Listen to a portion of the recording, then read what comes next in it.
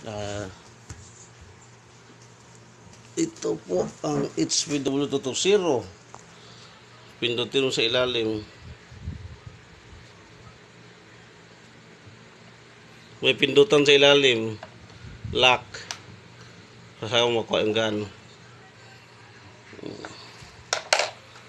Tapos, tanggalin mo tong takip.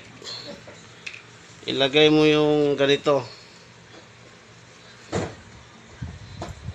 Diyan. Pagkatapos, asimbulin mo yung hose. Ilagay mo yung dalawang magkabilaang ganito. Yan, gayahin mo yan. Yan. Yan. Kamit mo siya dito. Salpak ng tudo. Ito naman, ito, sa gripo. Iklam mo siya sa gripo. Iklam sa gripo. Tapos salpak mo yung kabilang dulo.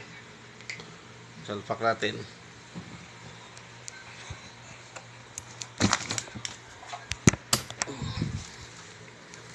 Ito, ayan, salpak yan. Ito, salpak din to, ito.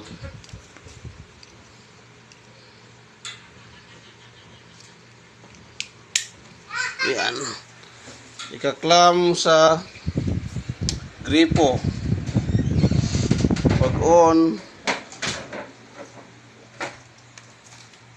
Yan. Ito namang hose sa kabila. Dito. Dito siya, dito. Sak salpak maigi.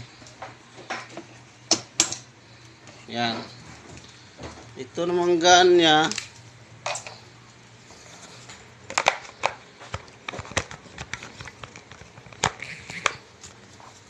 Ito yung gun. Ito naman siya. Dito. Salpak maigi. Yun.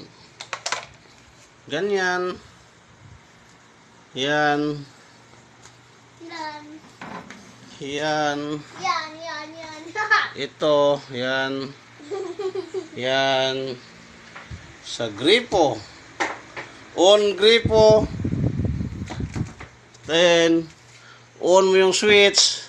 Pag umandar na, pisilin yung gun. Yon, pag lumabas yung hangin, wala lang hangin, na pwede na siyang gamitin. Ito yung adjustan, yung dulo ng gun.